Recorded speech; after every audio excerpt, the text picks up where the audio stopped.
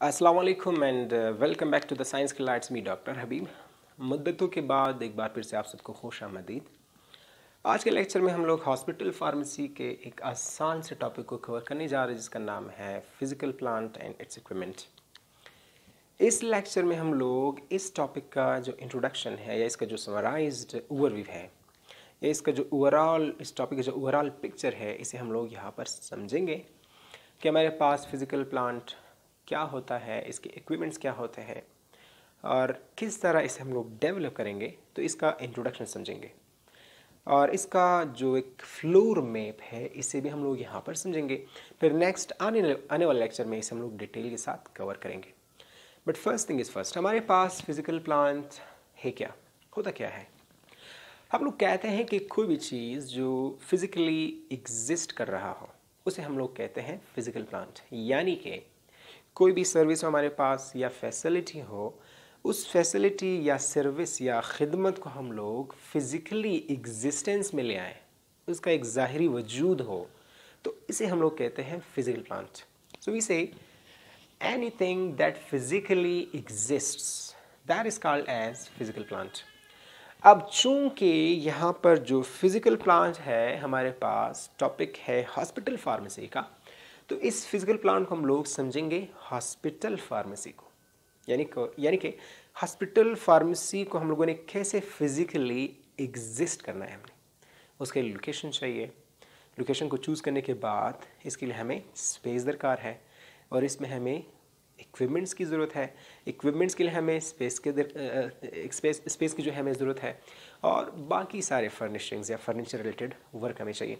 तो इसीलिए हम लोग कहते हैं कि फ़िज़िकल प्लांट इट्स इक्विपमेंट में हम लोग क्या डिस्कस करेंगे? हॉस्पिटल फार्मेसी के लोकेशन इसका लोकेशन ठीक है? लोकेशन मालूम हुआ। लोकेशन को चूज़ करने के बाद हमें इसके लिए स्पेस चाहिए फ़िज़िकल स्पेस स्पेस को मालूम करने के बाद इसमें हम लोग इक्विपमेंट्स इंस्टॉल करेंगे और इसी इक्विपमेंट्स के लिए हमें क्या चाहिए? स्पेस भी दरकार है और फर्निशिंग्स फर्नीचर रिलेटेड जो हमें फैसिलिटीज़ चाहिए। सो so, इसे हम लोग कहते हैं physical plant and its equipment okay यहाँ पर एक स्टैंडर्डाइज्ड या जो है एक टिपिकल हॉस्पिटल फार्मेसी का एक लेआउट है, एक फ्लोर मैप है, ठीक है? जिसमें फ्रंट में हमारे पास दो सेक्शंस होते हैं, ठीक है? एक है हमारे पास एडमिनिस्ट्रेशन ये वो सेक्शन है जहाँ पर इन तमाम हॉस्पिटल फार्मेसी को रेगुलेट कंट्रोल किया जाएगा एडमिनिस्ट्रेशन का सेक्शन इसके साथ एडजस्टेंट होते हैं दो एरियाज़ या सेक्शंस ये वाला है हमारे पास डिस्पेंसिंग सेक्शन जिसमें हमारे पास होंगे काउंटर्स और इनमें बैठे होंगे हमारे साथ फार्मासिस्ट्स और ये ड्रग्स और मेडिसिन को डिस्पेंस करेंगे टू द पेशेंट्स और पेशेंट्स कहाँ पर है? इस वेटिंग एरिया में, जिसे हम लोग कहते हैं फ्री स्पेस ओके इन दोनों सेक्शंस को इस कॉमन कॉरिडोर की तरफ़ खोले गए हैं।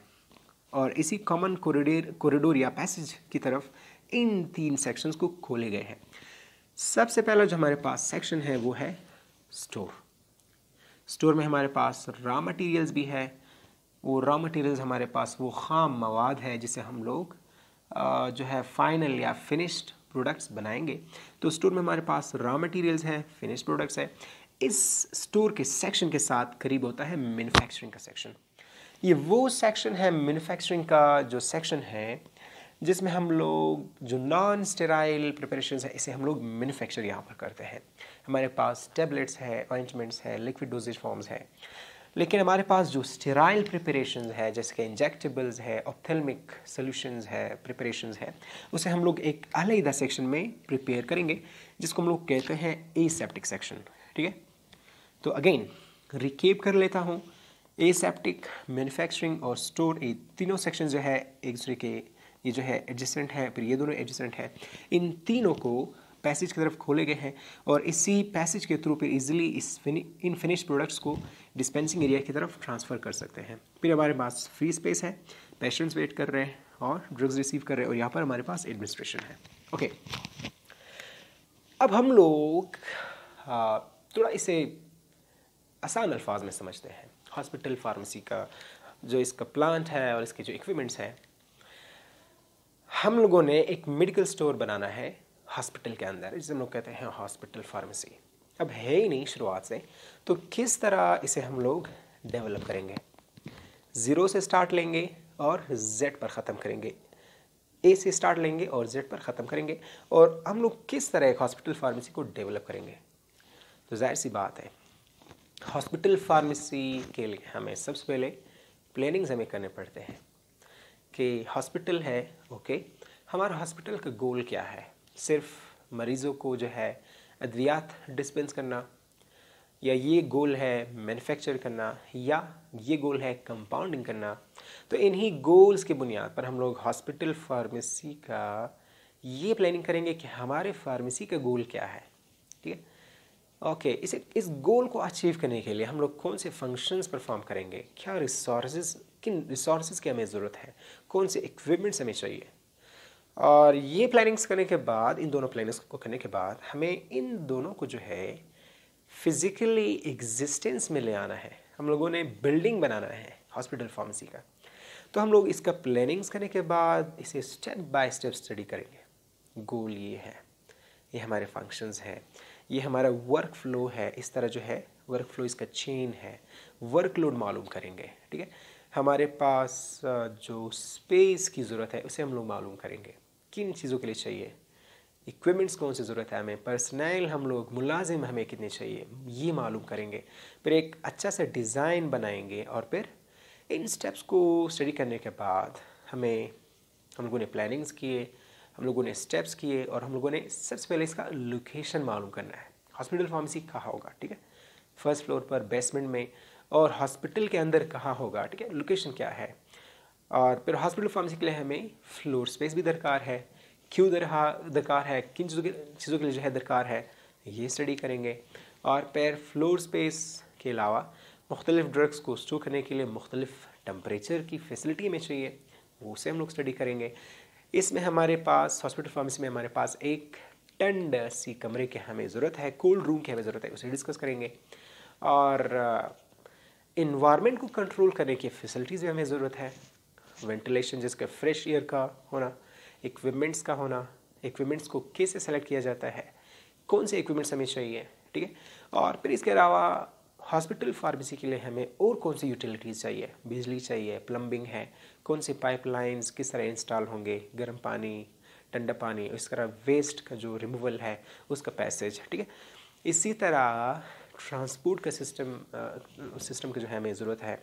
और इसके अलावा वॉल्स कैसे होंगे कैसे होंगे? फ्लोर हमें जो है किस तरह कंस्ट्रक्ट करना है? काउंटर्स हमें किस तरह जो है चाहिए? तो इन सब चीज़ों चीज़ों को जो है हम लोग डिस्कस करेंगे। हॉस्पिटल फार्मेसी के physical plant and its equipment में, ठीक है? तो यहाँ पर जो है पॉइंट्स वाइज यहाँ पर डिस्कस करते हैं। सबसे पहले हमारे पास है plannings master planning functional planning and architectural planning master planning हमारा हॉस्पिटल फार्मेसी का जो ये प्लानिंग में हम लोग देखते हैं गोल क्या है, ठीक है? मैन्युफैक्चर करना है डिस्पेंस करना है या कंपाउंडिंग करनी है। फंक्शनल प्लानिंग में इसे हम लोग इस गोल को अचीव करने के लिए हमें कौन से फ़ंक्शंस करने पड़ते हैं? क्या रिसोर्सेज हमें चाहिए? कौन से इक्विपमेंट्स की ज़रूरत है? पर इन दोनों प्लानिंग्स को हम लोगों ने बिल्डिंग की सूरत में इसे हम लोगों ने एग्जिस्टेंस में ले आना है। इसे, इसके लिए हम लोग करते हैं आर्किटेक्चरल प्लानिंग और इन प्लानिंग्स के लिए या इस आर्किटेक्चर प्लानिंग के लिए कौन कौन से लोग होंगे? वो क्या क्या जो है आइडियाज़ देंगे हेड ऑफ़ द डिपार्टमेंट होंगे हॉस्पिटल फार्मासिस्ट होगा आर्किटेक्ट होगा परचेजिंग एजेंट होगा और हेड ऑफ़ द हॉस्पिटल भी होगा।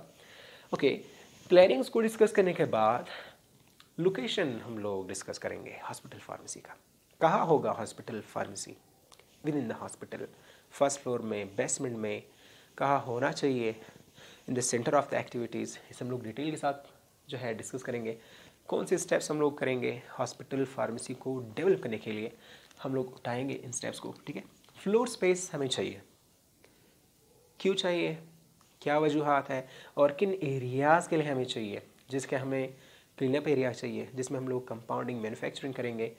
नॉन स्टेराइल की मिक्सिंग और फिलिंग के लिए हमें एरिया चाहिए। पैकेजिंग के लिए एरिया चाहिए। इंजेक्शन को रिकन्स्टिट्यूट करने के लिए हमें अलहदा से एरिया चाहिए।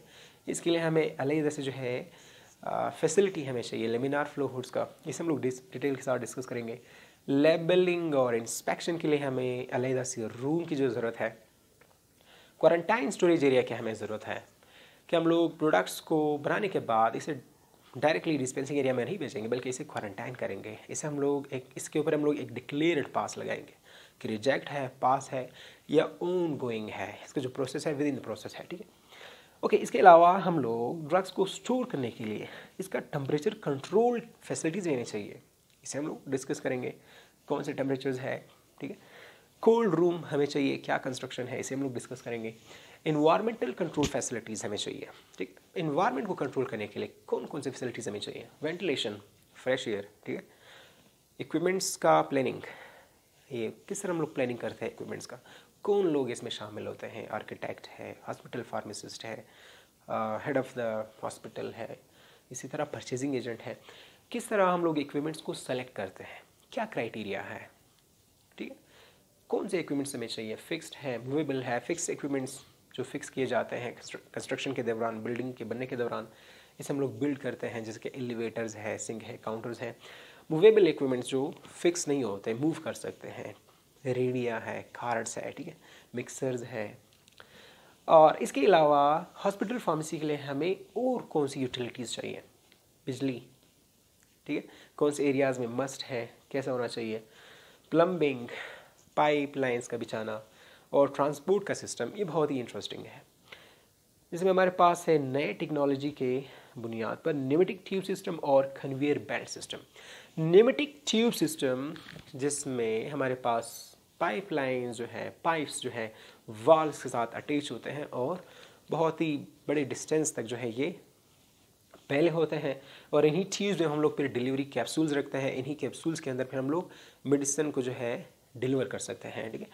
कन्वेयर बेल्ट सिस्टम बेल्ट के साथ ही जो है वो मुख्तलिफ़ कंटेनर्स मूव करते हैं और फिर अपने नर्सिंग स्टेशन या डिज़ायर्ड एरिया तक ये जो है ट्रांसपोर्ट हो जाते हैं। फिर अब फिनिशेज़ में हमारे पास जैसे कि वाल्स हैं कैसे होने चाहिए? दीवार हमारे साथ हॉस्पिटल फार्मेसी के। काउंटर्स किस तरह होने चाहिए? और फ्लोर किस तरह होना चाहिए? नॉन स्लिपरी होने चाहिए जो भी है। तो इन तमाम पॉइंट्स को हम लोग डिटेल के साथ नेक्स्ट लेक्चर में डिस्कस करेंगे। आ, कहने को तो ये था कि हमारे पास ओवरव्यू है लेकिन बहरहाल थोड़ा जो है बड़ा हो ही चुका है ये lecture I hope you people did enjoy and I hope it help you lot if you people did enjoy please support us. And please press the like button and the bell icon. Your support is this that you uh, may and you must subscribe to our youtube channel that's science killer. And as always science killers thanks for the listening and uh, stay blessed